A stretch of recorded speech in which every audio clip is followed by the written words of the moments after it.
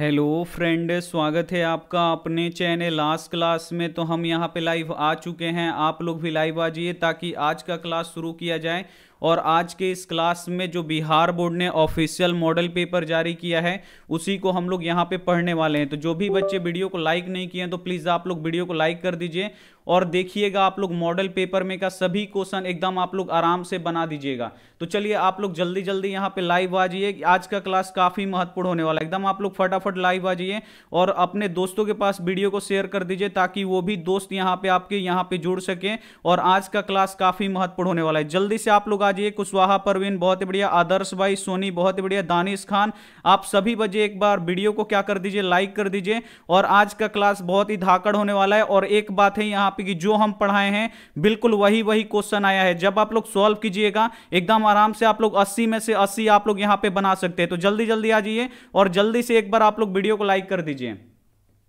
बढ़िया से एक बार एक बार आप लोग क्या कर दीजिए, वीडियो को लाइक कर दीजिए, उसके बाद हम यहाँ पे क्लास को शुरू करते हैं। ये क्या है बाबू? बिहार बोर्ड मैट्रिक का ऑफिशियल मॉडल पेपर है 2023 का। इसका हम लोग क्या करेंगे? सॉल्यूशन करेंगे और 100 परसेंट यहाँ पे आपको सही आंसर बताया जाएगा। चलिए जल्दी से एक बार आप लोग यहाँ पे वीडियो को लाइक कर दीजिए।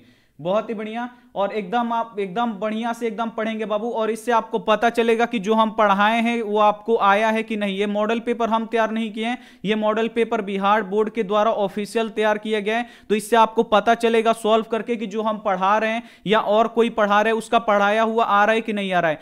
पढ़ाते तो सब लोग हैं, लेकिन पढ़ाया हुआ आए यही, यहाँ यही क्या होता है मेन बात है। तो यहाँ पे पढ़ाया हुआ बाबू आना चाहिए। अब देखिए आपके फाइनल बोर्ड परीक्षा में भी 80 ऑब्जेक्टिव प्रश्न रहेगा, जिसमें से आपको क्या करना है 40 ऑब्जेक्टिव प्रश्न बनाना है और 24 यहाँ पे लघु उत्तरीय प्रश्न रहेगा, जिसमें से आपको 12 बनाना है और 6 आपका दीर्घ उत्तरीय प्रश्न रहेगा, जिसमें से आपको तीन बनाना है। तो जल्दी से एक बार आप लोग वीडियो को लाइक कर दीजिए, काफ़ी महत्वपूर्ण क्लास होने वाला है इसका चलिए, सभी बच्चे यहाँ पे लाइव आ गए हैं। अब हम यहाँ पे क्लास को शुरू करते हैं और पहला नंबर क्वेश्चन लगाते हैं और यहाँ पे जो ये निर्देश दिया गया है, इसको आपको क्या करना है? काफ़ी अच्छी तरीके से यहाँ पे पढ़ लेना है।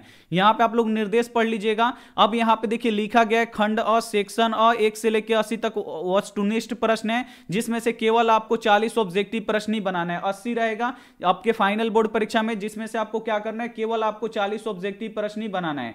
तो चलिए चलिए, अब यहाँ पे आ चुका है। अब इसे हम लोग लोग यहाँ पे सॉल्व करेंगे एक एक करके, और थोड़ा सा क्वालिटी आप लोग बढ़ा लीजिएगा, आपको एकदम क्लियर दिखाई देगा। और आज आपको पता चलेगा कि जो आपके ये सर पढ़ा रहे हैं, बिल्कुल वही आ रहा है आपके फाइनल बोर्ड परीक्षा में, ये आप लोग सॉल्व करके देख लीजिएगा। और ये हमारा ग्रांटी है मॉडल पेपर जारी होने से पहले भी बोल रहे थे कि हमारा पढ़ाया हुआ ही आएगा, और एकदम हंड्रेड हमारा पढ़ाया हुआ एकदम आया है। अब यहाँ पे हम सॉल्व करते हैं। यहाँ पे देखिए, पहला नंबर क्वेश्चन है कि निम्नांकित में से किसका अपर्तनांक अधिक होता है? यहाँ पे आपको बताना है कि किसका अपर्तनांक सबसे अधिक होता है। जल्दी से इसका आप लोग आंसर बता दीजिए। तो किसका अपर्तनांक अधिक होता है बाबू? कई बार हम आपको बताए हैं कि जो हीरा होता है, इसका अपर्तनांक सबसे अधिक होता है। बी वाला आंसर बिल्कुल इसे हो जाएगा। और ये भी बताए थे कि हीरा का अपर्तनांक कितना होता है तो दो दशमलव चार दो होता है। ये एकदम हम आपको डिटेल्स में बताए हैं। आपको यहाँ पे याद होना चाहिए। और देखिएगा, बिल्कुल जो हम पढ़ाए हैं, बिल्कुल वही वही यहाँ पे एकदम क्वेश्चन आया अब यहाँ पे हम दूसरा क्वेश्चन लगा देते हैं। दूसरा क्वेश्चन आप लोग सॉल्व कीजिए कि औतल दर्पण की फोकस दूरी होती है। कई बार हम आपको बताए हैं, बाबू औतल दर्पण की फोकस दूरी क्या होती है? तो ऋणात्मक होती है, इसे आपको याद रखना है। ए वाला आंसर बिल्कुल ही सही जाएगा। और जो उत्तल दर्पण होती है, उसकी जो फोकस दूरी होती है, धनात्मक होती है। सभी क्वेश्चन हम आपको पढ़ाए बाबू, आप लोग यहाँ पे देख के अंदाज़ा लगा सकते हैं। यहाँ पे हम सभी क्वेश्चन क्या कर दिए पढ़ा दिए अगला क्वेश्चन देखिए। अगला क्वेश्चन देखिए, ये भी क्वेश्चन हम आपको पढ़ाएँ कि लेंस के मुख्य फोक्सो की संख्या कितनी होती है। कई बार हम आपको पढ़ाएँ कि लेंस के मुख्य फोक्सो की संख्या कितनी होती है तो दो होती है। कई बार हम आपको बताए हैं, बी वाला आंसर यहाँ पे बिल्कुल इसी हो जाएगा। अगला क्वेश्चन देख लीजिए, अगला क्वेश्चन यहाँ पे देखिए, अगला क्वेश्चन है कि दाढ़ी बनाने में कौन सा दर्पण का प्रयोग होता है। कल ही बाबू हम आपको फिजिक्स पढ़ाए थे यहाँ पे तो उसी में बताए थे कि एक डॉक्टर है, उसके यहाँ पे सर पे दर्पण बांधा है और यहाँ पे लाइट जल रहा है, उसको गले को देख रहा है। कल ही हम आपको पढ़ाए थे बाबू तो यहाँ पर देखिए, दाढ़ी बनाने में किस दर्पण का प्रयोग होता है? तो अवतल दर्पण का प्रयोग होता है। और जो अवतल दर्पण होता है, ये किसी भी वस्तु का या क्या करता है? बड़ा प्रतिबिंब बनाता है, इसे आपको याद रखना है। और इसका उपयोग चिकित्सा क्षेत्र में भी किया जाता है। इसका यहाँ पे देखिए अवतल दर्पण का उपयोग हम लोग चिकित्सा क्षेत्र में भी करते हैं। सभी क्वेश्चन हम आपको पढ़ा दिए हैं। अगला क्वेश्चन देखिए, ये भी कल क्वेश्चन हम आपको पढ़ाए थे कि अवतल दर्पण की फोकस दूरी एफ़ और बक्रता त्रिज्या आर में क्या संबंध होता है? तो बाबू, जो फोकस दूरी होता है, ये बक्रता त्रिज्या के आधा होता है, यानी एफ़ बराबर क्या होता है? आर बाई टू होता है। ये सभी क्वेश्चन हम आपको पढ़ाए हैं। बिल्कुल एकदम हंड्रेड परसेंट हम आपको यहाँ पे पढ़ाए हैं। यहाँ पे राइट आंसर क्या हो जाएगा बाबू? एफ़ बराबर आर बाई टू यानी यहाँ पे सी वाला आंसर क्या हो जाएगा? बिल्कुल इसे हो जाएगा। समझ में आ रहा है, बहुत ही बढ़िया। अगला क्वेश्चन यहाँ पे देख लीजिए। अगला क्वेश्चन है यहाँ पे छह नंबर की निम्नलिखित में से किससे अभिसारी लेंस कहते हैं? ये भी कल हम आपको पढ़ाए थे कि निम्नलिखित में से कौन अभिसारी लेंस है? तो बाबू, जो उत्तर लेंस होता है, ये प्रकाश किरणों को एक बिंदु पर क्या कर देता है? मोड़ देता है। इसीलिए उत्तर लेंस को क्या कहते हैं? अभिसारी लेंस कहते हैं। बी वाला आंसर बिल्कुल इसे हो जाएगा। और अवतल लेंस को क्या कहते हैं? तो अवतल लेंस को अपसारी लेंस कहते हैं। तो इसे भी साथ में आपको क्या रखना है? याद रखना है। बहुत ही बढ़िया। सभी बच्चों का यहाँ पे आंसर आना चाहिए और सभी क्वेश्चन हम आपको पढ़ा चुके हैं। इसमें ऐसा कोई क्वेश्चन नहीं है जो हम आपको नहीं पढ़ाए हों। अगला क्वेश्चन यहाँ पे देखिए, अगला क्वेश्चन ये भी हम आपको पढ़ाएँ कि दृश्य प्रकाश में किस वर्ण का तरंग दर्द न्यूनतम होता है। अब यहाँ पे आपको बताना है कि वर्ण का मतलब क्या होता है? रंग होता है। यानी किस रंग का तरंग दर्द बाबू न्यूनतम होता है, सबसे कम होता है, ये आपको याद रखना है। तो किसका सबसे कम होता है बाबू? तो बैगनी का जो तरंग दर्द होता है, ये सबसे कम होता है। यहाँ पे बी वाला आंसर बिल्कुल इसे हो जाएगा। साथ में हम आपको यह भी बताए थे कि किस रंग का तरंग दर्द अधिक होता है तो लाल रंग का तरंग दर्द अधिक होता है, ये भी हम आपको बताए थे। सभी क्वेश्चन बाबू हम आपको पढ़ा दिए बस अगर आप लोग मन से पढ़े होंगे तो ये सभी क्वेश्चन आपके लिए एकदम बाएँ हाथ का खेल है। एकदम आप लोग फटाफट यहाँ पे सभी क्वेश्चन आप लोग बना सकते हैं। एकदम आप लोग फटाफट सभी क्वेश्चन आप लोग बना सकते हैं। एकदम इजी इजी क्वेश्चन दिया गया है और एकदम बिल्कुल मस्त मस्त क्वेश्चन है, जो पढ़ाए हैं वो एकदम आ गया है। अगला क्वेश्चन देखिए, आठ नंबर क्वेश्चन है कि तारों का टिमटिमाना प्रकाश की किस घटना को प्रदर्शित करता है। ये भी हम आपको पढ़ाए कि जो तारे टिमटिमाते हुए नज़र आते हैं, ये किसके कारण से आते हुए, आते हैं बाबू? तो ये प्रकाश के अपवर्तन के कारण से टिमटिमाते हुए नज़र आते हैं। यहाँ पे बी वाला आंसर क्या हो जाएगा? बिल्कुल इसे हो जाएगा। बहुत ही बढ़िया। सभी बच्चे एक बार आप लोग जुड़ जाइए और वीडियो को एक बार लाइक कर दीजिए, अपने दोस्तों के पास ज़्यादा से ज़्यादा शेयर कर दीजिए, ताकि ये सभी क्वेश्चन आपको एकदम हंड्रेड समझ में आए और ये सभी क्वेश्चन हम आपको पढ़ा चुके हैं। जो भी बच्चे हमसे पढ़ते हैं, सभी क्वेश्चन का आंसर एक भी क्वेश्चन इसमें से गलती नहीं करेंगे, सभी बता देंगे। नौ नंबर क्वेश्चन है कि निम्नलिखित में किसमें प्रकाश की चाल सबसे अधिक होती है? अब यहाँ पे आपको बताना है कि किसमें प्रकाश की चाल अधिक होती है तो निर्वात में प्रकाश की चाल अधिक होती है। सी वाला आंसर बिल्कुल इसे हो जाएगा। साथ में हम आपको यह भी बताए थे कि निर्वात में प्रकाश की चाल कितना होता है बाबू तो तीन लाख किलोमीटर पर सेकेंड होता है, इसे आपको याद रखना है। अगला क्वेश्चन यहाँ पर देख लीजिए। अगला यहाँ पे क्वेश्चन देखिए, दस नंबर क्वेश्चन है कि प्रकाश के अपवर्तन के नियम है। ये भी हम बाबू आपको बताए थे, कल ही बताए थे कि प्रकाश के परावर्तन के कितने नियम होते हैं और प्रकाश के अपवर्तन के कितने नियम होते हैं। तो प्रकाश के बाबू अपवर्तन के कितने नियम होते हैं? दो नियम होते हैं और प्रकाश के परावर्तन के भी कितने नियम होते हैं? तो प्रकाश के परावर्तन के भी दो ही नियम होते हैं। ये सभी क्वेश्चन हम आपको पढ़ा चुके हैं। अगला क्वेश्चन देख लीजिए। अगला क्वेश्चन आपके स्क्रीन पे है। यहाँ पर देखिए, ग्यारह नंबर कि जल विद्युत संयंत्र किस ऊर्जा को विद्युत ऊर्जा में रूपांतरित करता है? बाबू ये दस बार से ज़्यादा बार ये क्वेश्चन हम आपको पढ़ाए हैं कि जो जल विद्युत संयंत्र होता है, ये किस ऊर्जा को विद्युत ऊर्जा में बदलता है? तो जो बाबू जल होता है, वो स्थितिज ऊर्जा में रहता है। जल में क्या होता है? स्थितिज ऊर्जा होता है और ये स्थितिज ऊर्जा को क्या करता है? विद्युत ऊर्जा में बदलता है। यहाँ पे सी वाला आंसर क्या हो जाएगा? बिल्कुल इसे हो जाएगा। सभी बच्चे यहाँ पे सी आंसर कर रहे हैं। बहुत ही बढ़िया है। और एक बार आप लोग क्या कर दीजिए? दबा के लाइक कर दीजिए ताकि और भी बच्चे यहाँ पे जुड़ सके। अगला क्वेश्चन देख लीजिए।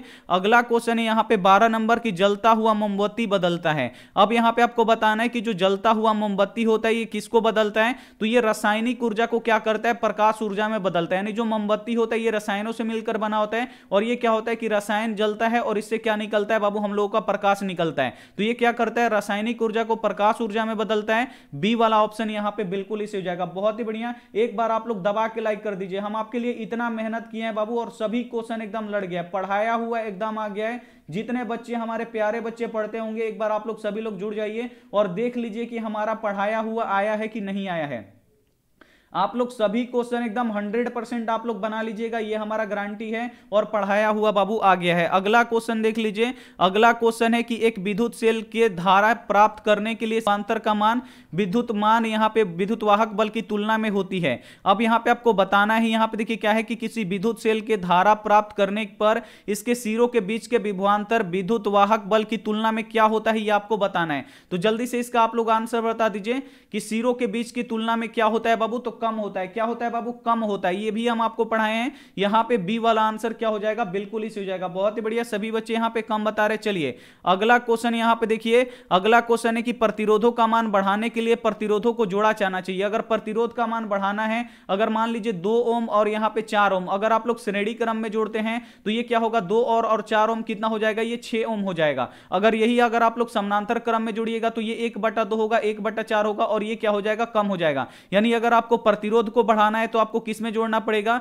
श्रेणी क्रम में जोड़ना पड़ेगा। बी वाला आंसर यहाँ पे बिल्कुल ही से हो जाएगा। बहुत ही बढ़िया। यहाँ पे बी वाला आंसर बाबू क्या हो जाएगा? बिल्कुल ही से हो जाएगा। अगला क्वेश्चन देख लीजिए। अगला क्वेश्चन ये बाबू हम आपको कई बार पढ़ाए कि विद्युत चुंबक बनाने के लिए किस छड़ का उपयोग होता है। तो विद्युत चुंबक बनाने के लिए बाबू यहाँ पे किसका प्रयोग होता है? तो नरम लोहा का प्रयोग होता है। कई बार बताए हैं। बी वाला आंसर बिल्कुल ही से हो जाएगा। और जो बाबू अस्थाई चुंबक होता है, ये भी हम आपको बताएँ कि जो अस्थाई चुंबक होता है, ये किसका बना होता है? तो ये इस्पात का बना होता इसे भी आपको यहाँ पे याद रखना है। बहुत ही बढ़िया। और सभी बच्चे एक बार आप लोग वीडियो को लाइक कर दीजिए। बाबू, अभी आपका लाइक का ज़रूरत है, ताकि सभी बच्चे यहाँ पे जुड़ पाए और सभी बच्चों का यहाँ पे तैयारी हो सके। अगला क्वेश्चन देखिए 16 नंबर की उच्चतर ताप पर कौन सी क्रिया पूरी होती है? अब यहाँ पे आपको बताना है कि उच्चतर ताप पर कौन सी क्रिया पूरी होती है, बाबू? तो नाभिकीय विखंडन होता है। क्या होता है, बाबू? तो नाभिकीय विखंडन होता है, इसे आपको याद रखना है। ए वाला आंसर यहाँ पे बिल्कुल इसे हो जाएगा। अगला क्वेश्चन देख लीजिए। अगला क्वेश्चन बाबू, ये कल ही पढ़ाए थे। बाबू, अगर कल वाला जो फिजिक्स का यहाँ पे हम बोले थे कि लास्ट मौका है बाबू लास्ट के लिए आपको वन शॉट क्लास यहाँ पे शुरू किया गया, फिजिक्स का पढ़ाए थे, तीन चैप्टर पढ़ाए थे, और तीन चैप्टर में देखिए बाबू, कितना क्वेश्चन लड़ गया है। तो कि सौर ऊर्जा यहाँ पे देखिए, सीधे विद्युत ऊर्जा को किस ऊर्जा में बदलता है, ये आपको बताना है। तो देखिए, जो सौर ऊर्जा होता है, ये प्रकाश ऊर्जा को क्या यहाँ पे देखिए, सौर ऊर्जा को सीधे विद्युत ऊर्जा में बदलने वाली युक्ति है। तो कौन है बाबू? सौर ऊर्जा को विद्युत ऊर्जा में कौन बदलता है? तो सौर सेल बदलता है, इसे आपको याद रखना है वाला आंसर यहाँ पे बिल्कुल इसे हो जाएगा। बहुत ही बढ़िया। कौन बदलता है बाबू? सौर ऊर्जा को विद्युत ऊर्जा में कौन बदलता है? तो सौर सेल बदलता है, इसे आपको याद रखना है। अगला क्वेश्चन देखिए। अगला क्वेश्चन है कि पवन विद्युत जनित्र में पवन की चाल कम से कम कितना होना चाहिए? तो पंद्रह किलोमीटर प्रति घंटा होता है, इसे आप लोग याद भी रखे होंगे कि सभी सर लोग पढ़ाते हैं कि पंद्रह किलोमीटर प्रति घंटा होता है, लेकिन इसमें पंद्रह नहीं दिया है, लेकिन बारह से चौदह किलोमीटर प्रति घंटा दिया है। तो इसी पे आपको क्या लगाना है? टिक लगाना है, ये क्या हो जाएगा? यहाँ पे बिल्कुल ही राइट आंसर हो जाएगा। बारह से चौदह यहाँ पे क्या हो जाएगा? किलोमीटर प्रति घंटा। ये क्या हो जाएगा? यहाँ पे बिल्कुल राइट आंसर हो जाएगा। समझ में आ गया? बहुत ही बढ़िया। अगला क्वेश्चन यहाँ पे देख लीजिए। अगला क्वेश्चन यहाँ पे एक सेकंड यहाँ पे देखिए, अगर यहाँ पे ये क्वेश्चन होता है, इसमें आप लोग ध्यान से देखिए। इसका 12 से 14 नहीं होगा। इसमें, इनमें से कोई नहीं है। तो आपको क्या करना है बाबू? यहाँ पे इनमें से कोई नहीं, आपको यहाँ पे ऑप्शन टिक करना है। यहाँ पे एक सेकेंड रुक जाइए। इनमें से आपको कोई नहीं टिक करना है, क्योंकि यहाँ पे देखिए पवन विद्युत जनित्र को चलने के लिए कम से कम चाल कितना होना चाहिए? तो पंद्रह किलोमीटर प्रति घंटा से कम होना चाहिए। अगर पंद्रह किलोमीटर प्रति घंटा से अधिक होना चाहिए। लेकिन ये क्या है, यहाँ पे पंद्रह किलोमीटर प्रति घंटा से कम है तो ये ऑप्शन यहाँ पे नहीं होगा। यहाँ पे आप लोग डी ऑप्शन कीजिएगा, इनमें से कोई नहीं। यहाँ पे डी वाला ऑप्शन क्या हो जाएगा, बिल्कुल इसे हो जाएगा। इस पे ये वाला आप लोग टिक कीजिएगा। पंद्रह किलोमीटर प्रति घंटा से अगर कम होगा तो पौन विद्युत चनित्र बाबू क्या हो जाएगा, नहीं चलेगा। यहाँ पे बिल्कुल यहाँ पे पंद्रह वाला क्या हो जाएगा? बिल्कुल सही हो जाएगा और ये हम आपको पढ़ाए भी है। अगला क्वेश्चन यहाँ पे देखिए कि सेल का विद्युत वाहक बल है। अब यहाँ पे आपको बताना है कि जो सेल का विद्युत वाहक बल होता है, ये क्या होता है? तो सेल का विद्युत वाहक बल क्या होता है बाबू? तो सेल द्वारा इकाई आवेश पर लगाया गया बल होता है, इसे आपको याद रखना है। यहाँ पे ए वाला ऑप्शन क्या हो जाएगा? बिल्कुल ही सही हो जाएगा। चलिए, अगला क्वेश्चन यहाँ पे देख लीजिए। अगला क्वेश्चन यहाँ पे देखिए 20 नंबर क्वेश्चन है कि घरेलू विद्युत परिपथ में मुख्य रूप से किसकी आपूर्ति होती है? यानी जो घरों में हमारा विद्युत आता है, वो क्या होता है बाबू? दिष्ट धारा होता है कि प्रत्यावर्ती धारा होता है? यानी एसी करंट होता है कि डीसी करंट होता है, ये आपको बताना है। तो हमारे घरों में जो विद्युत धारा आती है बाबू, ये क्या होती है? प्रत्यावर्ती धारा होती है और ये दो सौ बीस वोल्ट पर होती है, इसे आपको याद रखना है। सभी क्वेश्चन बाबू हम आपको पढ़ा चुके हैं। ऐसा नहीं है कि कोई क्वेश्चन हम आपको नहीं पढ़ाए हैं। अगला क्वेश्चन देखिए, इक्कीस नंबर की वर्ण विक्षेपण असंभव है। अब यहाँ पे आपको बताना है कि किसमें वर्ण विक्षेपण नहीं हो सकता है। तो बाबू, जो प्रिज्म होता है, ये कांच का बना होता है तो कांच में तो संभव है। और जो वायु में जो बड़ विक्षेपण होता है, यानी जो इंद्रधनुष बनता है, ये भी बड़ विक्षेपण के कारण से बनता है। तो इंद्र यहाँ पे देखिए, आकाश में क्या होता है तो ये जल के सहारे से ये इंद्रधनुष बनता है। और निर्वात में भी बन जाता है बाबू वर्ण विक्षेपण लेकिन फाइबर में नहीं बनेगा, इसे आपको याद रखना है। यहाँ पे डी वाला ऑप्शन क्या हो जाएगा, बिल्कुल इसे हो जाएगा। बहुत ही बढ़िया। अगला क्वेश्चन यहाँ पे देख लीजिए। अगला क्वेश्चन है बाईस नंबर नंबर की वायु में रखा एक कांच प्रिज्म से अपवर्तन कोण को मोड़ देता है। अब यहाँ पे आपको बताना है कि वायु में रखा गया एक कांच प्रिज्म को, यहाँ पे देखिए प्रिज्म का आपतित किरण को मोड़ देता है तो आधार की ओर मोड़ देता है। किस ओर मोड़ता है बाबू? तो आधार की ओर मोड़ देता है। यहाँ पे डी वाला आंसर बिल्कुल इसे हो जाएगा। अगला क्वेश्चन देख लीजिए। अगला क्वेश्चन आपको ये बनाने आना चाहिए बाबू। इस पे का हम आपको कई क्वेश्चन बताए हैं। यहाँ पे देखिए, जिस भी रासायनिक अभिक्रिया में ऑक्सीजन जुटता है जिस भी रासायनिक अभिक्रिया में ऑक्सीजन जुटता है, उसे क्या कहते हैं? उपचयन कहते हैं। और जेडन में क्या हो रहा है बाबू? ऑक्सीजन यहाँ पे जुट जा रहा है। ऑक्सीजन जुट जा रहा है। तो इसे हम लोग क्या कहेंगे? यहाँ पे ये उपचयन होगा, इसमें ऑक्सीजन जुट रहा है। यहाँ पे डी वाला ऑप्शन क्या हो जाएगा? बिल्कुल इसे हो जाएगा। सभी हमारे प्यारे भाई, यहाँ पे सभी क्वेश्चन आपको पढ़ा दिया गया है। बस यहाँ पे आपको एक बार मन से यहाँ पे पढ़ने की ज़रूरत है। और आपको पता लग गया होगा कि जो सर पढ़ाते हैं, बिल्कुल वही आता है। यहाँ पे देखिए, खाने वाले सोडा का रासायनिक सूत्र होता है। खाने वाला सोडा को क्या बोलते हैं बाबू? सोडियम बाइकार्बोनेट बोलते हैं। और सोडियम बाइकार्बोनेट कार्बोनेट का बाबू रासायनिक सूत्र क्या होता है? तो NaHCO3 होता है, इसे आपको याद रखना है। यहाँ पे ए वाला आंसर बिल्कुल इसे हो जाएगा। और खाने वाला सोडा क्या होता है बाबू? मिश्रण होता है, इसे आपको याद रखना है। और ये किसका मिश्रण होता है? तो ये टार्ट्रिक अम्ल का मिश्रण होता है, इसे आपको याद रखना है। अगला क्वेश्चन देखिए। अगला क्वेश्चन बाबू, ये क्वेश्चन हम आपको कई बार पढ़ाए हैं कि कमरे के ताप पर द्रव अवस्था में हो रहने वाली धातु है। कौन सी धातु है जो कमरे के ताप पर द्रव के द्रव की अवस्था में रहती है? तो पारा एक ऐसी धातु है जो बाबू की कमरे के ताप पर द्रव अवस्था में पाई जाती है। बी वाला आंसर बिल्कुल इसे हो जाएगा। और इसी में बाबू हम अधातु का भी बताए थे। कौन ऐसा अधातु है जो कमरे के ताप पर द्रव के रूप में पाया जाता है बाबू? तो ब्रोमीन पाया जाता है, इसे आपको याद रखना है। क्या पाया जाता है? ब्रोमीन पाया जाता है, इसे आपको याद रखना है। सभी क्वेश्चन हम आपको पढ़ा दिए अगला क्वेश्चन देखिए, छब्बीस नंबर। की आवर्त सारणी के शून्य समूह का तत्व कौन है? अब इसमें आपको बताना है कि आवर्त सारणी में शून्य समूह का तत्व कौन सा है बाबू? तो शून्य समूह का कौन सा तत्व है बाबू? हीलियम है, इसे आपको याद रखना है। जो हीलियम होता है यह निष्क्रिय तत्व होता है और जो निष्क्रिय होते हैं, उसे शून्य समूह में रखा गया, इसे आपको याद रखना है। यहाँ पे क्या हो जाएगा? बी वाला ऑप्शन यहाँ पे बिल्कुल इसे हो जाएगा। सभी बच्चों का यहाँ पे हीलियम हो रहा है। एक बार आप लोग बता दीजिए कि सभी जो हम पढ़ाए हैं, वो आया है कि नहीं आया है? एकदम हु बहु बाबू, एकदम क्वेश्चन आ गया है। जितना हम आपको क्वेश्चन पढ़ाए हैं बिल्कुल आप लोग आँख मूद के भी आप लोग बनाना चाहेंगे तो बिल्कुल आप लोग बना सकते हैं। अस्सी में से नहीं तो आप लोग पचहत्तर प्लस आप लोग क्वेश्चन बना सकते हैं, ये हमारा गारंटी है।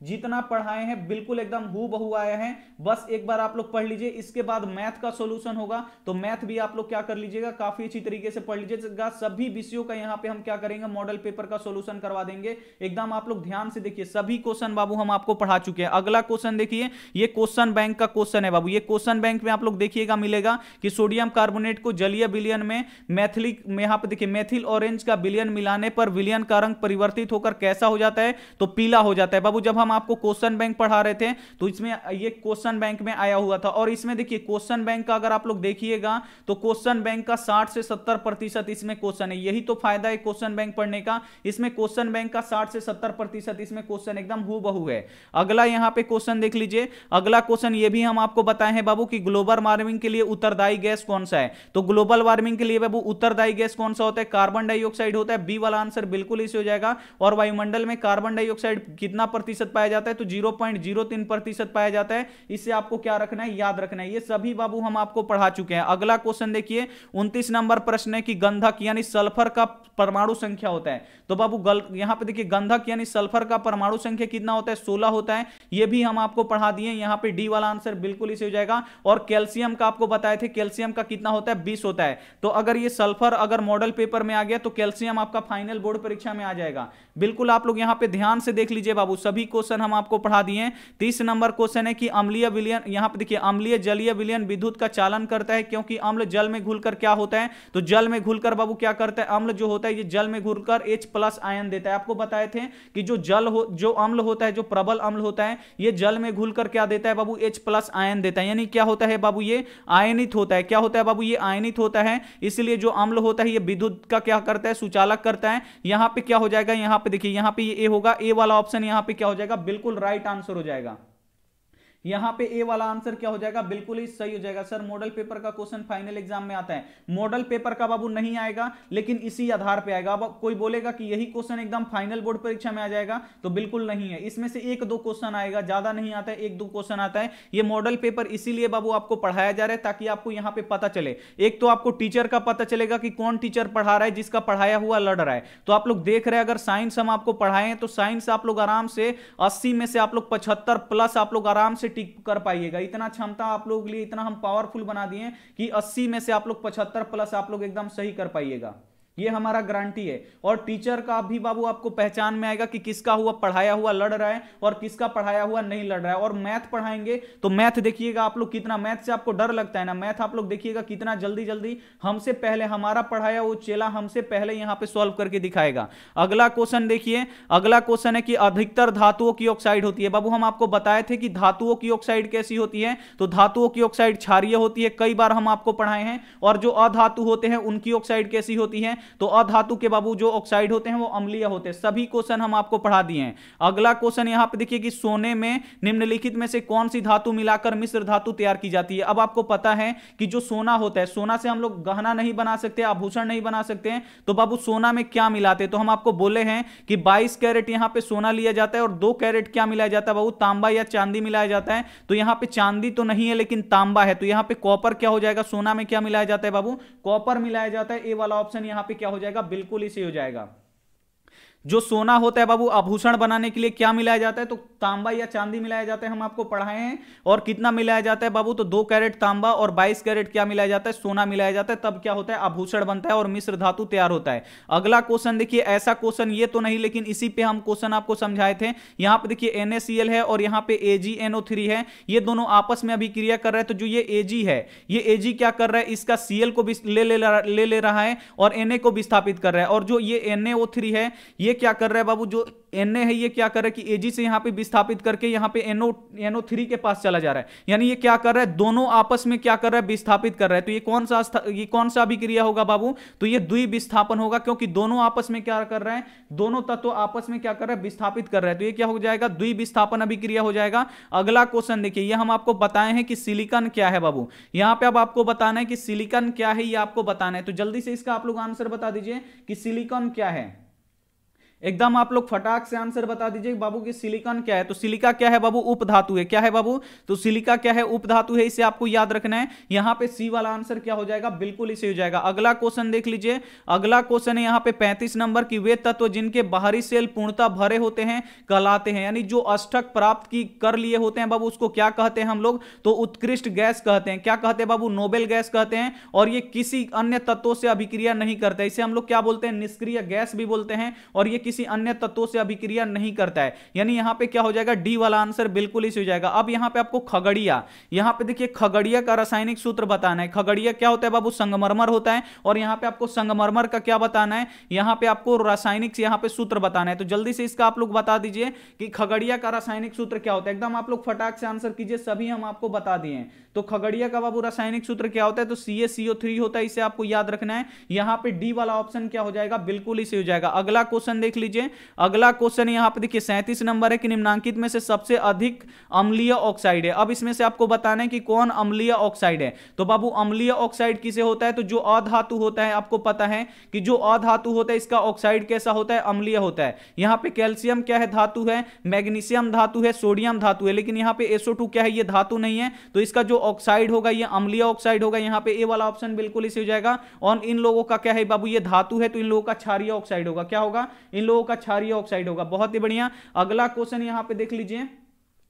अगला क्वेश्चन यहाँ पे देखिए, अड़तीस नंबर क्वेश्चन थोड़ा सा हार्ड पूछा गया है कि निम्नलिखित में से कौन एल्काइन है? तो बाबू, इसमें एल्काइन कौन है? तो टू क्या है बाबू? एल्काइन है। यहाँ पे सी वाला ऑप्शन क्या हो जाएगा? बिल्कुल इसे हो जाएगा। कौन सा आंसर सही होगा? तो टू क्या हो जाएगा? बिल्कुल इसे हो जाएगा। अब उनतालीस नंबर क्वेश्चन देखिए कि सी थ्री ओ और यहाँ पे क्या है? सी टू एच फाइव का आईयूपीएससी नाम क्या है? तो ये अब, ये हम आपको क्वेश्चन बैंक में पढ़ाए थे। अगर आप लोग क्वेश्चन बैंक बहुत ही बढ़िया तरीके से पढ़े होंगे तो ये आप बता सकते हैं। ये क्या है बाबू? मेथोक्सी एथेन है। क्या है है बाबू? इसका आईयूपीएससी नाम क्या होता है? तो मेथोक्सी इथेन होता है। यहाँ पे ए वाला आंसर क्या हो जाएगा? बिल्कुल इसे हो जाएगा। अगला क्वेश्चन देख लीजिए। अगला क्वेश्चन ये हम आपको कई बार बताए हैं कि निम्नलिखित में से कौन सी यौगिक का ईंधन के रूप में इस्तेमाल किया जा सकता है। अब यहाँ पे आपको बताना है कि ईंधन के रूप में किसका इस्तेमाल किया जाता है? तो बाबू एथेनॉल का उपयोग किया जाता है। आप लोग अगर सभी पे टिक कीजिएगा तो गलत हो जाएगा। अगर आप लोग सही, सभी पे टिक कीजिएगा, बाबू, गलत हो जाएगा। कौन सा यहाँ पे एल्कोहल है, जिसका उपयोग हम लोग किसमें करते हैं? ईंधन के रूप में। तो एथेनॉल है, आपको याद रखना है। क्या आपको टिक करना है?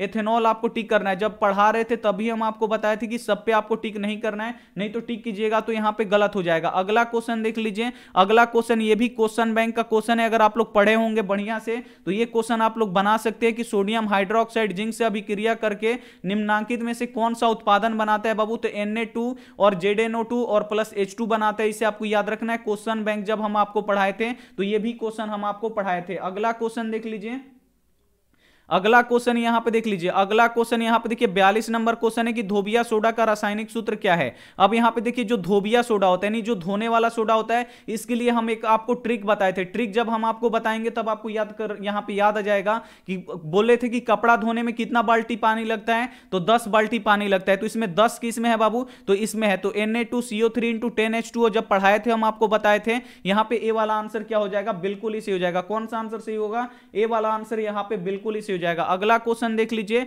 अगला क्वेश्चन ये भी हम आपको बताए हैं बाबू की जो अम्ल राज होता है, इसमें सांद्र एच और यहाँ पे सांद्र एच का अनुपात क्या होता है? तो जो सांद्र एच होता है बाबू, ये एक के अनुपात में होता है और जो हाइड्रोक्लोरिक अम्ल होता है, ये तीन के अनुपात में होता है। तो इसी के अनुपात में पूछा है तो एक अनुपात तीन क्या हो जाएगा? आपका राइट आंसर हो जाएगा। यहाँ पे ए वाला आंसर बिल्कुल इसी हो जाएगा। थोड़ा सा ये घुमाया है। अगर यहाँ पे एच का पूछता है कि एच और एच का अनुपात क्या होता है तो एच का अनुपात क्या होता है? तीन अनुपात एक होता। लेकिन यहाँ पे घुमा दिया है, पहले यहाँ पे एच दिया है, उसके बाद यहाँ पे एच दिया है तो बाबू कितना होगा? एक अनुपात क्या हो जाएगा? तीन हो जाएगा। बिल्कुल यहाँ पे राइट आंसर हो जाएगा। और जो अम्ल राज होता है, इसमें क्या घुलता है? ये भी हम आपको बताए थे कि अम्ल राज में बाबू क्या घुलता है? सोना घुलता है, इसे आपको याद रखना है। अगला क्वेश्चन देखिए, चौवालीस नंबर भी क्वेश्चन हम आपको पढ़ाए थे कि किसी अभिक्रिया में भाग लेने वाले पदार्थ को क्या कहते हैं? तो किसी अभिक्रिया में जो पदार्थ भाग लेता है, उसे क्या कहते हैं? अभिकारक कहते हैं। बहुत ही इजी क्वेश्चन है। और जो पदार्थ अभिक्रिया के फलस्वरूप बनता है, उसे क्या कहते बाबू, उत्पादक कहते हैं तो इसे भी साथ में आपको याद रखना है। सभी क्वेश्चन हम आपको बता चुके हैं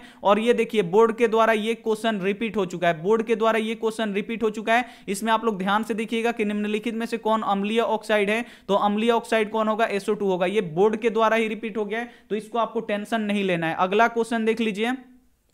अगला क्वेश्चन ये भी हम आपको पढ़ाएँ कि निम्नलिखित में से कौन सा पदार्थ जलीय घोलक को यहाँ पर देखिए, लाल लिटमस पत्र को नीला करता है। बाबू, हम आपको कई बार बताए हैं, एकदम चीख चीख के बताए हैं, एकदम यहाँ पे हम आपको चिला चिला के बताए हैं कि यहाँ पर देखिए, लाल लिटमस पत्र को नीला कौन करता है? छार करता है। कौन करता है? छार करता है। और नीले लिटमस पत्र को बाबू, लाल कौन करता है? तो नीले लिटमस पत्र को लाल कौन करता है? अम्ल करता है, इसे आपको याद रखना है। और लिटमस पत्र का उपयोग कहाँ पर होता है? तो अम्ल और छार का पता लगाने में किया जाता है। तो इसे भी साथ में आपको याद रखना है। अगला क्वेश्चन देखिए, अगला क्वेश्चन ये भी हम आपको बढ़ाएँ कि स्वस्थ शरीर का पीएच मान होता है। यानी जो स्वस्थ शरीर होता है, इसका पीएच परास जो होता है, ये कितने के बीच में कार्य करता है? तो बाबू, पीएच परास कितने के बीच में कार्य करता है? तो सात से सात दशमलव आठ के बीच में करता है पीएच परास। यहाँ पे सी वाला आंसर क्या हो जाएगा? बिल्कुल इसी हो जाएगा। सभी क्वेश्चन बाबू हम आपको पढ़ा दिए एक बार आप लोग बता दीजिए कि जितना क्वेश्चन हम आपको पढ़ाए हैं, जितने हमारे प्यारे बच्चे यहाँ पे हमसे क्लास करते हैं, अगर आप लोग पढ़े हैं वो वाला क्लास तो देख लीजिए उसी में से इतना सारा क्वेश्चन आ गया है। यानी आप लोग मॉडल पेपर को एकदम फाड़ के रख सकते हैं, ये हमारा गारंटी है। अगर आप लोग यहाँ पे बोल दीजिए कि पढ़ाए हैं, वो आया है कि नहीं आया है? एक बार आप लोग कमेंट करके बता दीजिए कि जो हम पढ़ाए हैं, वो आया है कि नहीं आया है? आप लोग ईमानदारी से बता दीजिए। हाँ सर जी, आया है, बहुत ही बढ़िया। यस सर जी, आया है, बहुत ही बढ़िया। एकदम ऐसे ही बाबू, आप लोग फाइनल बोर्ड परीक्षा में 80 में से आप लोग क्या कर दीजिएगा? एकदम फाइनल बोर्ड परीक्षा में 40 एकदम आपको धुआँ धुआँ कर दीजिएगा। आपको चीटिंग की भी ज़रूरत नहीं पड़ेगा। और जो वायरल क्वेश्चन पढ़ाते हैं, उसको भी आपको पढ़ना पड़ेगा। वायरल क्वेश्चन एकदम आप लोग फाइनल बोर्ड परीक्षा में अस्सी में से चालीस बनाना है और अस्सी में से चालीस एकदम आप लोग फाड़ फूड़ के रख दीजिएगा। ये हमारा गारंटी है। अगला क्वेश्चन यहाँ पे देखिए। अगला क्वेश्चन बहुत ही आसान सा क्वेश्चन पूछा गया कि निम्नांकित यौगिक में कौन जल में विलय है। यानी इसमें आपको बताना है कि कौन जल में घुल जाता है। तो बाबू, जो ग्लूकोज होता है, ये क्या होता है? जल में घुल जाता है। यहाँ पे डी वाला आंसर बिल्कुल इसे हो जाएगा। और ग्लूकोज का रासायनिक सूत्र क्या होता है? तो C six H twelve O six होता है, इसे आपको याद रखना है। और ये भी हम आपको बताए थे कि कार्बन के कितने परमाणु है, इसमें छह है। हाइड्रोजन के कितने हैं बाबू? बारह है। ऑक्सीजन का कितना है? यहाँ पे छह है। अगला क्वेश्चन यहाँ पे देख लीजिए। अगला क्वेश्चन यहाँ पे देखिए, उनचास नंबर क्वेश्चन है कि अमलगम है। अब इसमें से आपको बताना है कि अमलगम इसमें से कौन सा है? है। तो बाबू जो अमलगम होता है ये किससे मिलकर बना होता है? तो अमलगम में हमेशा क्या होता है? पारा रहता है। अमलगम में क्या रहता है बाबू हमेशा? एच यानी पारा हमेशा रहेगा अमलगम। तो, तो इसमें देखिए एच किसमें है बाबू? तो एच इसमें भी नहीं है इसमें भी नहीं है इसमें भी नहीं है। एच यहाँ पे पारा इसमें है तो ये क्या बनेगा बाबू? अमलगम बनाएगा। यहाँ पे बी वाला आंसर क्या हो जाएगा? बिल्कुल इसी जगह बाबू सभी क्वेश्चन हम आपको पढ़ा दिए। कोई भी आपको टेंशन लेने का यहाँ पे कोई दिक्कत नहीं होने वाली है। अगला क्वेश्चन यहाँ पे देखिए कि निम्नांकित में से किसी धातु को जिंक सल्फेट के बिलियन में जिंक को विस्थापित कर सकता है। और ये क्वेश्चन बैंक का क्वेश्चन है बाबू। एकदम हंड्रेड ये क्वेश्चन बैंक में क्वेश्चन है। और इसे हम आपको पढ़ा चुके हैं कि कौन सी धातु जिंक सल्फेट को बिलियन को जिंक से विस्थापित कर देता है बाबू? तो कॉपर करता है। कौन करता है आपको याद रखना है? कॉपर करता है। यहाँ पे सी वाला आंसर क्या हो जाएगा? बिल्कुल इसे हो जाएगा। सभी क्वेश्चन हम आपको पढ़ा दिए हैं। इसमें कोई आपको दिक्कत होने वाला नहीं है। ये भी क्वेश्चन हम आपको पढ़ाए हैं कि ऑक्सीजन युक्त रक्त को हृदय से शरीर के विभिन्न भागों तक ले जाने वाली रक्त वाहिनी है। और यहाँ पे देखिए, ऑक्सीजन युक्त रक्त किसे कहा जाता है? तो जो शुद्ध रक्त होता है। अब यहाँ पे आपको पता चल गया होगा कि शुद्ध रक्त को कौन ढोता है बाबू शुद्ध रक्त इसमें किसमें परिवहन होता है।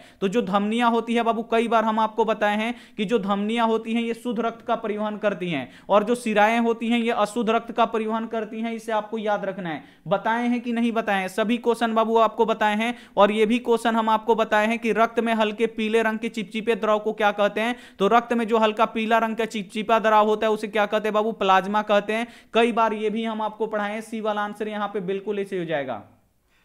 देखिए, सभी पढ़ाया हुआ बाबू, क्वेश्चन हमारा आ गया है, एकदम बल्ले बल्ले, एकदम यहाँ पे लड़ गया है, एकदम हंड्रेड परसेंट गारंटी के साथ यहाँ पे क्या हो गया है? लड़ गया है। अगला क्वेश्चन देखिए, अगला क्वेश्चन है कि किस, यहाँ पे देखिए, किन, कि, यहाँ पे देखिए, किन पौधों की पतियों में एस्टोमेटा उपस्थित होते हैं? अब यहाँ पे आपको बताना है कि किन पौधों में एस्टोमेटा यहाँ पे क्या होते हैं? उपस्थित होते हैं। तो चलिए, यहाँ पे जल्दी से आप लोग बता दीजिए कि किस पौधे में यहाँ पे जो पतियों में एस्टोमेटा होते हैं, ये उपस्थित होते हैं? जल्दी से दीपक कुमार सर ग्रुप में जोड़ दीजिएगा। ठीक है, ग्रुप में आप लोग क्या कर दीजिएगा? मैसेज कर दीजिएगा। आज रात में हम क्या करेंगे? सबको क्या कर देंगे? जोड़ देंगे। तो यहाँ पर देखिए, जो जलमग्न जो जलमग्न हाइड्रो यहाँ पर देखिए हाइड्रोफाइट होते हैं, इसमें पाया जाता है यहाँ पे क्या हो जाएगा? बी वाला आंसर बिल्कुल इस हो जाएगा। अब यहाँ पे देखिए, ये क्वेश्चन हम आपको कई बार पढ़ाए हैं कि किड़वन की क्रिया किसमें पाई जाती है। तो बाबू, किड़वन की क्रिया किसमें होती है बाबू? तो देखिए, इसमें किड़वन की क्रिया किसमें होती है? तो ईस्ट में क्या होता है बाबू? तो किड़वन की क्रिया होता है। देखिए, ईस्ट में क्या होता है? तो ईस्ट में किड़वन की क्रिया होती है। इसमें अगर पूछेगा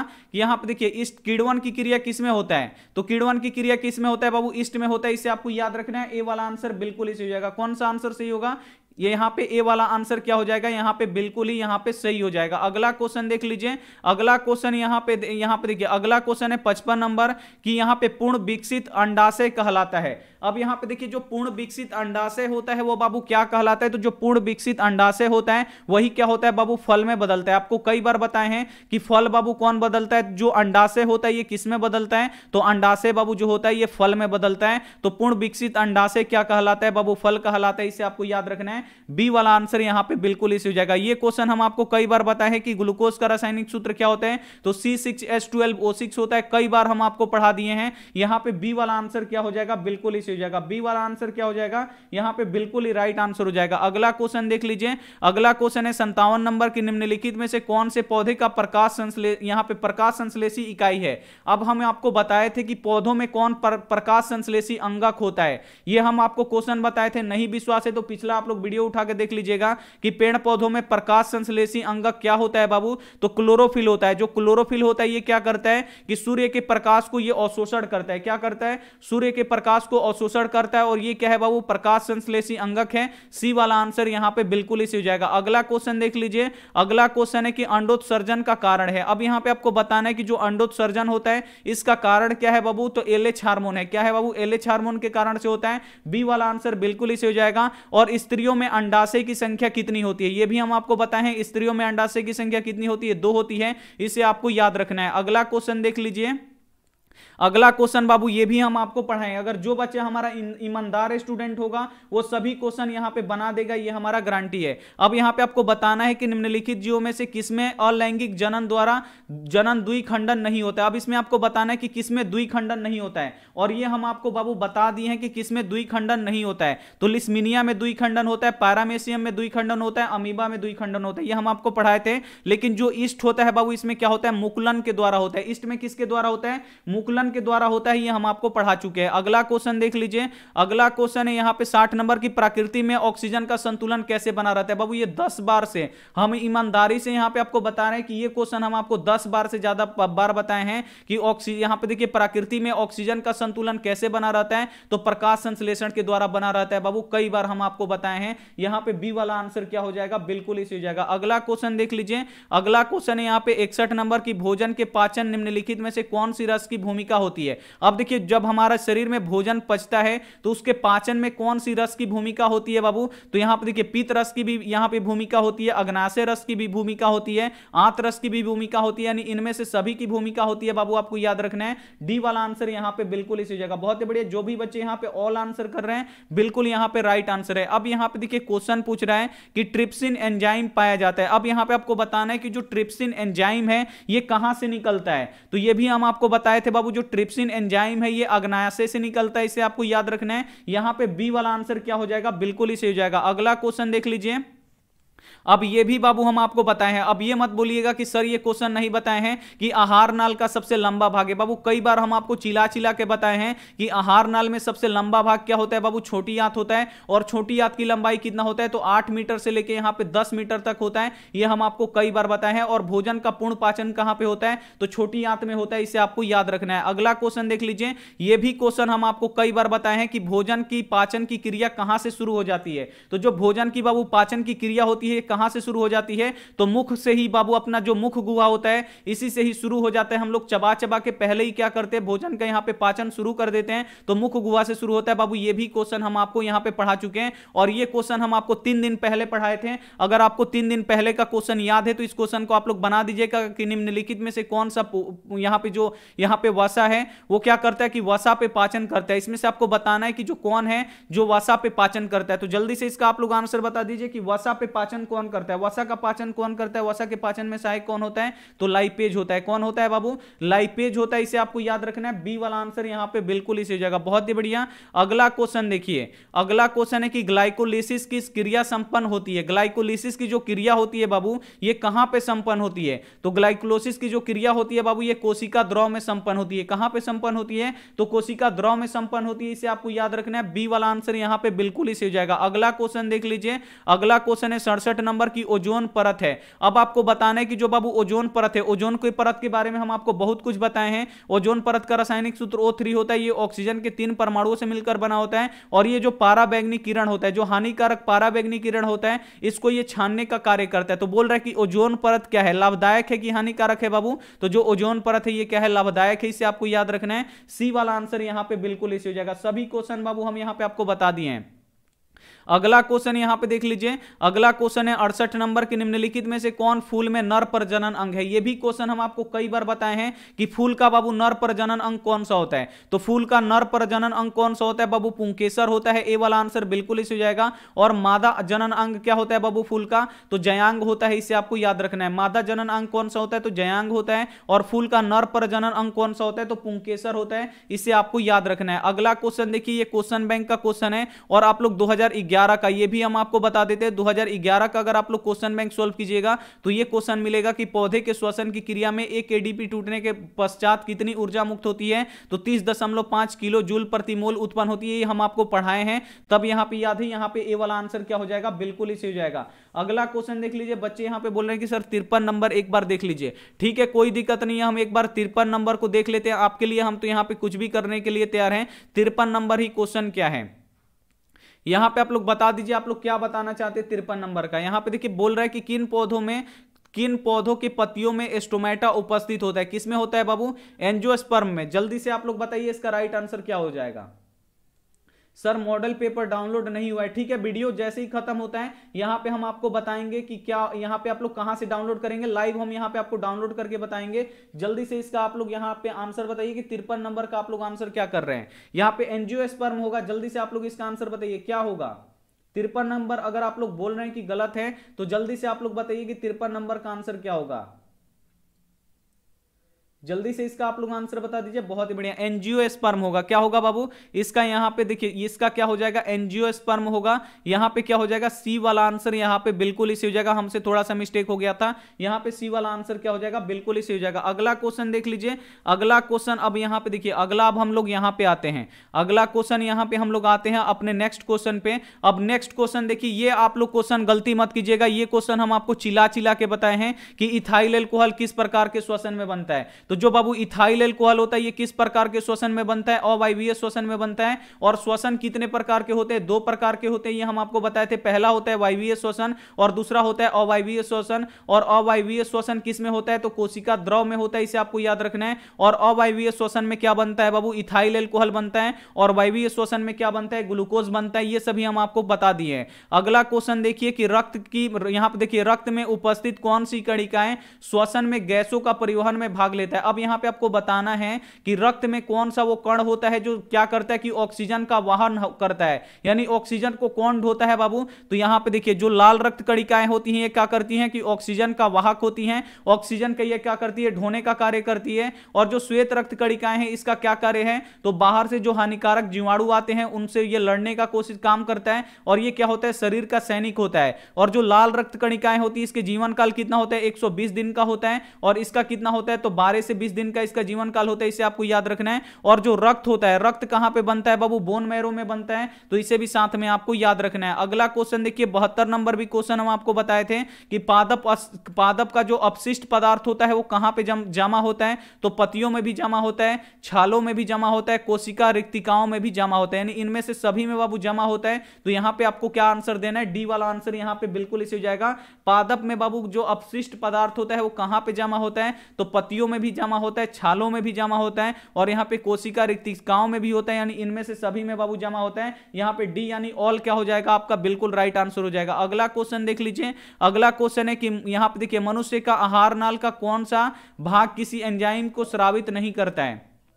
अब यहाँ पे आपको बताना है कि आहार नाल का कौन सा भाग है जो किसी एंजाइम को स्रावित नहीं करता है। तो मुख, मुँह में से बाबू आप लोग देखिए, मुख में से टाइलिन नामक एंजाइम निकलता है अमाशय में से भी निकलता है, लेकिन जो हमारा ग्रास नली होता है, जो निगलने वाला नली होता है, इसमें कोई भी एंजाइम नहीं निकलता है। यहाँ पर बी वाला आंसर क्या हो जाएगा? बिल्कुल इसे हो जाएगा। सभी क्वेश्चन बाबू आपको पढ़ा दिए और सभी क्वेश्चन और ये देखिए, जो आपका सेंटअप एग्ज़ाम हुआ था, उसी में से ये क्वेश्चन एकदम हुबहू उठा के डाल दिया गया है कि मूत्र की सांद्रता की उपस्थिति निर्भर करती है तो एडीएच पे निर्भर निर्भर करती है, इसे आपको याद रखना है। यहाँ पे बी वाला आंसर क्या हो जाएगा? बिल्कुल इसे हो जाएगा। अगला क्वेश्चन देख लीजिए। अगला क्वेश्चन यहाँ पे है। यहाँ पे पचहत्तर नंबर भी क्वेश्चन हम आपको कई बार बताए कि कौन सा हार्मोन पौधों में वृद्धि से संबंधित नहीं है। तो इसमें बाबू वृद्धि हार्मोन कौन होता है? ऑक्सीन होता है, आपको पता है। जिब्रेलिन होता है, ये हम आपको बताए थे कि वृद्धि हार्मोन ऑक्सीन होता है, जिब्रेलिन होता है और साइटोकाइनिन होता है। लेकिन जो एफसीसी का अम्ल होता है, ये क्या करता है? तो ये पेड़ पौधों का वृद्धि रोधक हार्मोन होता है। ये क्या करता है कि पेड़ पौधों की पतियों को झड़ा देता है, विलगित कर देता है, इसे आपको याद रखना है। डी वाला आंसर बिल्कुल इसे हो जाएगा। अब यहाँ पे आप लोग आंसर बताइए, यहाँ पे छिहत्तर नंबर क्वेश्चन है कि मानव हृदय किस तंत्र का भाग है? अब यहाँ पे आपको बताना है कि जो मानव हृदय है, ये किस तंत्र का भाग है? पाचन का नहीं है, पाचन का तो लीवर होता है, श्वसन का बाबू फेफड़ा होता है, और उत्सर्जन का क्या होता है? हमारा वृक होता है। जो वृक होता है, ये क्या करता है? उत्सर्जन से संबंधित होता है, लेकिन जो हमारा हृदय होता है, ये क्या करता है? परिवहन करता है। और परिवहन बाबू किसका करता है? तो ये जो रक्त होता है, यानी जो हमारा खून होता है, इसका ये क्या करता है? परिवहन करता है, आपको यहाँ पे पता होना चाहिए। अगला क्वेश्चन देखिए, सतहत्तर नंबर, कि जीव विज्ञान की वह शाखा जो यहाँ पे देखिए जीव विज्ञान की वह शाखा जो गुणों के, वो यहाँ पे देखिए वंशानुगत क्रमों को क्या करता है, अध्ययन करता है, उसे क्या कहते हैं बाबू? तो अनुमानसिकी कहते हैं। बहुत इजी क्वेश्चन यहाँ पे पूछा गया जेनेटिक्स कहते हैं। यहाँ पे बी वाला आंसर बिल्कुल इसे जाएगा। सभी क्वेश्चन हम यहाँ पे आपको पढ़ा चुके हैं। अगला क्वेश्चन बाबू आपसे गलत नहीं होना चाहिए कि श्वसन की क्रिया में किस गैस को ग्रहण किया जाता है। ग्रहण का मतलब क्या होता है? लिया जाता है। श्वसन की क्रिया में हम किस गैस को लेते हैं? ये हम आपको जब पढ़ा रहे थे बाबू, बहुत ही ज़ोर ज़ोर से आपको चिल्ला चिल्ला के यहाँ पे पढ़ाए थे कि श्वसन की क्रिया में हम किस गैस का उपयोग करते हैं तो ऑक्सीजन गैस का उपयोग करते हैं। बी वाला आंसर यहाँ पे बिल्कुल इसी जगह, और श्वसन की क्रिया में किस गैस को छोड़ते हैं? तो कार्बन डाइऑक्साइड गैस को छोड़ते हैं यह हम आपको पढ़ाए थे। अगला क्वेश्चन देखिए बाबू, ये भी हम आपको कई बार पढ़ाए कि ग्लूकोज में कार्बन के कितने परमाणु होते हैं। तो ग्लूकोज के रासायनिक सूत्र क्या होता है? तो एच सिक्स यहाँ पर देखिए सी सिक्स एच ट्वेल्व और ओ सिक्स होता है, जिसमें कार्बन का परमाणु छह होता है हाइड्रोजन का परमाणु बारह होता है, और ऑक्सीजन का परमाणु छह होता है। बाबू, ये पढ़ाए हैं कि नहीं पढ़ाए हैं? आप लोग एकदम ईमान से बोलिएगा, एकदम आप लोग यहाँ पे एकदम दिल से बोलिएगा कि यहाँ पे ये हम आपको पढ़ाए हैं कि नहीं कि ग्लूकोज में कार्बन के परमाणु संख्या कितने होते हैं? तो कार्बन के छह होते हैं। बी वाला आंसर यहाँ पे बिल्कुल इसे हो जाएगा। बहुत ही बढ़िया। अगला और आज का यहाँ पे अंतिम क्वेश्चन देखिए, उसके बाद हम यहाँ पे आपको बताएँगे कि कैसे अब सब्जेक्टिव क्वेश्चन का बारी है धुआँ धुआँ करने का। अस्सी नंबर क्वेश्चन देखिए कि मस्तिष्क में अनैच्छिक क्रिया को नियंत्रित करता है। तो बाबू, जो मस्तिष्क होता है, जो अनैच्छिक क्रिया होता है, इसको नियंत्रित कौन करता है? तो मेडुला ऑब्लिगेंडा करता है, इसे आपको याद रखना है। ए वाला आंसर बिल्कुल इसे हो जाएगा। अब जो हम आपको नोट्स दिए थे आपको साइंस का, यहाँ पे फिजिक्स का जो नोट्स दिए थे, आपको पता है। तो देखिए फिजिक्स का जो पहला ही क्वेश्चन था बाबू, कि चुंबकीय क्षेत्र रेखाओं के किन्हीं दो गुणों को लिखिए। ये पहला ही क्वेश्चन आ गया है, कि चुंबकीय क्षेत्र रेखाओं के दो गुण लिखे। आप लोगों के पास फिजिक्स का नोट्स होगा, आप लोग देखिएगा, पहला ही क्वेश्चन है ये, कि चुंबकीय क्षेत्र के रेखाओं के आपको दो गुण लिखना है। तो जो चुंबकीय क्षेत्र रेखाएँ होती हैं उत्तरी ध्रुव से निकलती हैं, दक्षिणी ध्रुव में प्रवेश करती हैं, और जो चुंबकीय क्षेत्र रेखाएँ होती हैं, ये एक दूसरे को क्या करती हैं? कभी नहीं काटती हैं। आपको पता है ये नोट्स में ही हम आपको दे दिए हैं। ये क्वेश्चन सभी हम आपको नोट्स में दे दिए हैं। उसके बाद यहाँ पे बोल रहा है कि बायोगैस संयंत्र क्या है? तो बायोगैस क्या है बाबू? बायोगैस का मुख्य घटक क्या होता है? मेथेन गैस होता है। और बायोगैस बनाने के लिए किसका उपयोग किया जाता है? तो गोबर का प्रयोग किया जाता है। तो ऐसे आप लोग यहाँ पे बता, बना सकते हैं। ओम के नियम में कौन सी राशि असर होती है? व्याख्या करें। तो ओम के नियम में कौन सी बाबू राशि होती है? जो अचर होती है। तो जो ताप होता है बाबू, ये अचर होता है। सभी क्वेश्चन बाबू काफ़ी इजी इजी है। अब यहाँ पे देखिए, वायु में प्रकीर्णन तरंग की लंबाई किस पर निर्भर करती है? ये हम आपको बता देंगे। और नोट्स में बाबू ये भी आप लोग क्वेश्चन देखिएगा,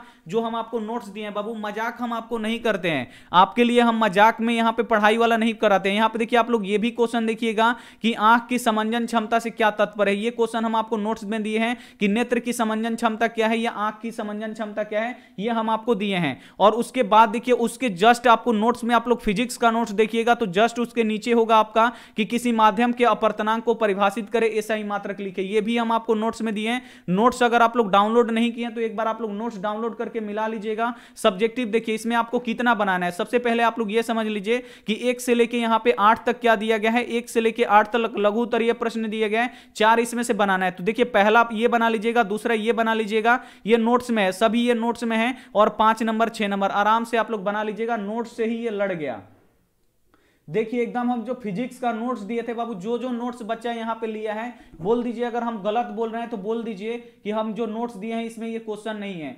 एक बार आप लोग बोल दीजिए, और जो भी बच्चा ग्रुप में नहीं जोड़ रहा है, बोल बोल रहे हैं बच्चे ग्रुप में जुड़ने के लिए तो रुक जाइए, हम यहाँ पे लिंक पिन करते हैं, उसके बाद हम आपको बताएँगे कि आप लोग ऑफिशियल मॉडल पेपर आप लोग कहाँ से डाउनलोड कर सकते हैं। देखिए कितना मस्त मस्त क्वेश्चन एकदम लड़ गया है। अब इसका हम लोग आते हैं, अब देखिए, यहाँ पे पाँच नंबर वाला क्वेश्चन लड़ गया कि दिष्ट धारा और प्रत्यावर्ती धारा में अंतर लिखे। क्या आप लोग समझते हैं? यहाँ पे अंतर लिखे। ये भी हम आपको दिए कि दिष्ट धारा और प्रत्यावर्ती धारा में अंतर, ये हम आपको दिए थे। साठ जिस दिन हम आपको ऑब्जेक्टिव क्वेश्चन पढ़ा रहे थे, उसी दिन का बाबू, ये बात है, ज़्यादा दिन का ये बात नहीं हुआ है। अभी उसी दिन का बात हुआ है। तो जो भी बच्चे नोट्स हमारा डाउनलोड नहीं करते बाबू, और जगह जाइएगा तो नोट्स का आपका पैसा लेगा। मोटा मोटा आपसे पैसा लेगा, और कितना पैसा लेगा आपको पता है, दो रुपया लेगा, या एक रुपया आपको नोट्स का ही यहाँ पे लेगा। लेकिन हम आपको नोट्स देते हैं, बिल्कुल हम आपको फ्री में देते हैं। देखिए दिष्ट धारा और प्रत्यावर्ती धारा में अंतर लिखे, नोट्स आप लोग खोलिएगा, ये सभी क्वेश्चन आपको इसमें रहेगा। और जो भी बच्चे अभी तक वीडियो को लाइक नहीं किए तो इतना मेहनत हम आप लोगों के लिए किए हैं। जल्दी से आप लोग एक बार और हम आपको बता देते हैं कि नोट्स आपको कहाँ से डाउनलोड करना है और ये सभी क्वेश्चन भी हम आपको बता देंगे कि कहाँ आपको ये क्वेश्चन है। वो हम आपको यहाँ पे अभी लाइव आपको दिखाएँगे नोट्स में।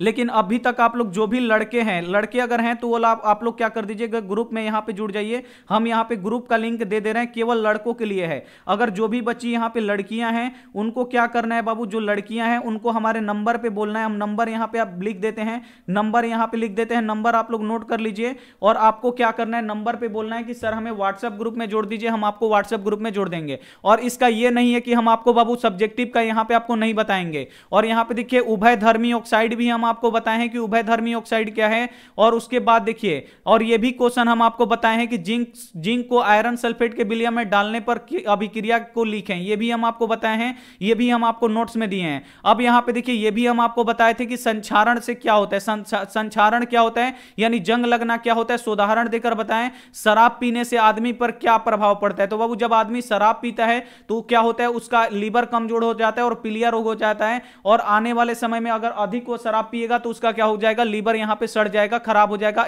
आदमी की क्या हो जाएगी? मृत्यु भी हो जाएगी। अब यहाँ पे देखिए, अपमार्जक ने साबुन का स्थान क्यों ले लिया? ये भी हम आपको पढ़ा चुके हैं। और उसके बाद देखिए, आयनिक यौगिक, अब इसमें जो हम आपको नहीं पढ़ाए, वो हम आपको पढ़ा देंगे। और यहाँ पे देखिए, हीरा विद्युत का कुचालक होता है, किंतु ग्रेफाइड सुचालक होता है, क्यों? ये हम आपको नहीं पढ़ाए हैं। बाबू, हम आपको पढ़ा देंगे, जो हम आपको नहीं पढ़ाए, वो हम आपको पढ़ा देंगे। मिश्र धातु हम आपको पढ़ाए कि मिश्र धातु क्या है? और मिश्र धातु का यहाँ पे सुधारण देकर बताइए।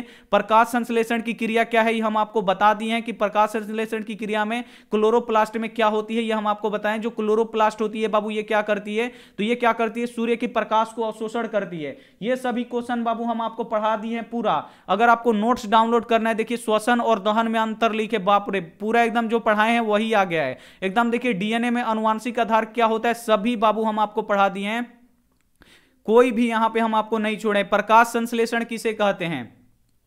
हम आपको ये पढ़ा दिए हैं प्लस हम आपको नोट्स भी दिए हैं, लेकिन अभी हम आपको फिजिक्स का नोट्स डाउनलोड करके दिखाते हैं और इसका सब्जेक्टिव भी बाबू एकदम पूरा डिटेल्स में हम आपको बताएँगे। तो अगर आपको नोट्स डाउनलोड करना है तो आप लोग नोट्स कैसे डाउनलोड कर सकते हैं? देखते हैं यहाँ पे स्क्रीन छोटा किए हुए हैं। अब यहाँ पे देखते हैं कि हमारा, यहाँ पे देखते हैं कि नोट्स डाउनलोड हो रहा है कि नहीं। यहाँ पे सीन टू करते हैं, अब यहाँ पे आते हैं, हम लोग देखते हैं कि स्क्रीन पूरा दिखाई दे रहा है कि नहीं। यहाँ पे हम आपको नोट्स और पीडीएफ डाउनलोड करके दिखा रहे हैं। चलिए, यहाँ पे देखते हैं स्क्रीन आपको दिखाई दे रहा है।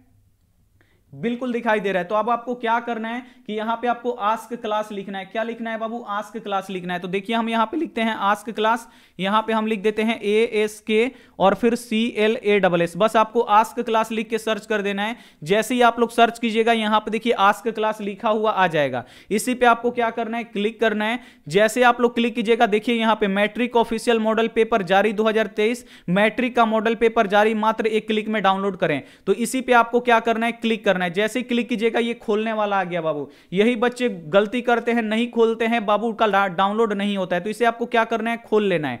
खोल लीजिएगा तो ये फिर दोबारा नहीं आएगा। इसको क्या करना है बाबू? आपको एक बार बैक दबा देना है, कट जाएगा। फिर आपको क्या करना है? इसी फ़ोटो पे आपको क्लिक करना है। जैसे आप लोग क्लिक कीजिएगा, ये पोस्ट ओपन हो जाएगा और आपको नीचे से ऊपर जाना है और मॉडल पेपर का एक एक जानकारी दिया गया है कि मॉडल पेपर क्यों जारी होता है। मॉडल पेपर से पढ़ने से फ़ायदा है कि नहीं? मॉडल पेपर का प्रश्न आता है कि नहीं? फाइनल बोर्ड परीक्षा में यह सभी दिया गया। अगर मान लीजिए हम लोग यहाँ पे साइंस पढ़ रहे हैं तो साइंस का अगर आप लोग मॉडल पेपर पढ़िएगा तो यहाँ पे देखिए लिखा गया मॉडल पेपर और यहाँ पे डाउनलोड लिंक। तो साइंस वाले के लिंक पे आ गया, आप लोग क्लिक कीजिएगा लिंक पे। तो यहाँ पे साइंस का मॉडल पेपर यहाँ पे ओपन हो जाएगा। आँख के सामने हम आपको यहाँ पे डाउनलोड करके दिखा रहे हैं। यही यहाँ पे मॉडल पेपर था, आप लोग देख सकते हैं कि निम्नांकित में से किसका अपर्तनांक अधिक होता है तो यहाँ पे हीरा का होता है। ये सभी हम आपको पढ़ाएँ। अगर इसको आपको डाउनलोड करना है तो यहाँ पे डाउनलोड बटन है। इस डाउनलोड वाले बटन पे आप लोग क्लिक कीजिएगा डाउनलोड हो जाएगा। उसके बाद देखिए, आपको जिसका भी डाउनलोड करना है, यहाँ पे सभी का यहाँ पे दे दिया गया। बस आपको क्या कर लेना है डाउनलोड कर लेना है। अब चलिए हम आपको बताते हैं कि जो हम नोट्स दिए हैं, उसको आप लोग कैसे डाउनलोड कीजिएगा? तो मॉडल पेपर सबसे पहले आप लोग डाउनलोड कर लीजिएगा। अब आपको सबसे नीचे आना है। सबसे नीचे आप लोग आइएगा, एजुकेशन का यहाँ पे मिलेगा और यहाँ पे देखिए लिखा गया है कि class tenth physics notes PDF download. यहाँ पे देखिए लिखा गया कि क्लास टेंथ फिजिक्स का यहाँ पे नोट्स पीडीएफ डाउनलोड। तो इस नोट्स पीडीएफ पे आपको क्लिक करना है। जैसे आप लोग क्लिक कीजिएगा यहाँ पे लिखा गया संपूर्ण फिजिक्स फिजिक्स का संपूर्ण नोस्ट आपको यहाँ पे नीचे आना है, नीचे आइएगा। यहाँ पे देखिए लिखा गया है कि यहाँ पे देखिए भौतिकी का संपूर्ण नोट्स और यहाँ पे लिंक दिया गया है। लिंक दिया गया लिंक पे आपको क्या करना है, क्लिक करना है। जैसे ही आप लोग लिंक पे क्लिक कीजिएगा, पहला ही क्वेश्चन देखिए बाबू, पहला ही हम आपको क्वेश्चन बताए थे कि चुंबकीय क्षेत्र रेखाओं के गुण को लिखें। और पहला ही क्वेश्चन आपके मॉडल पेपर में है, वो दो गुण बोला था लिखने के लिए, लेकिन हम यहाँ पे चार गुण यहाँ पे आपको लिख के दिए थे। आप लोग यहाँ पे देख सकते हैं। जल्दी से एक बार आप लोग देख लीजिए। यहाँ पे चार गुण बोला था लिखने के लिए, दो गुण बोला था लिखने के लिए, लेकिन हम यहाँ पे आपको चार गुण यहाँ पे लिख के दिए थे।